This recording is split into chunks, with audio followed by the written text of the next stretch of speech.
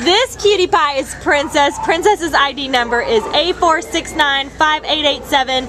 And Princess is a gorgeous Chihuahua mix with these awesome radar ears and her little white paws. She's just such a cutie pie.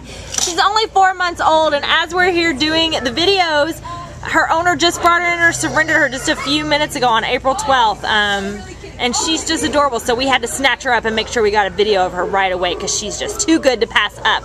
She weighs all of five pounds. She's just a little girl and she's just very alert. She was being very kissy earlier, so we know she loves people. She's good with other dogs. Oh, she's getting some tired. Um, she's got a good medium energy level. We think she's going to be a lot of fun. And as she's four months old, she's going to need, you know, some basic puppy training and she might gain a pound or two, but she's still gonna be a pretty small little girl, but with big radar ears, full of fun. So um, we think she's gonna be good in any situation, you know, apartment or a home, a family, she's just gonna fit right in, and we would love to see her get to a new good home as soon as possible because she deserves it and she's just a sweetheart. So come on down and meet Princess today and take her home with you from the Baldwin Park Shelter. Bye bye, Princess!